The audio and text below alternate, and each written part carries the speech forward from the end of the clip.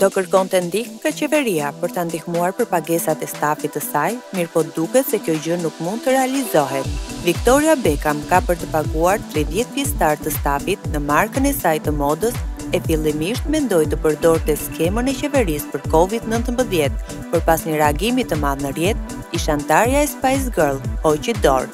Marka e modës e cila punëson njëqind e njëzet persona u dërgoi letra tridhjetë anëtarëve të stafit duke i paralajmëruar ata se do të rrinin nën skemën e qeverisë për dy muaj.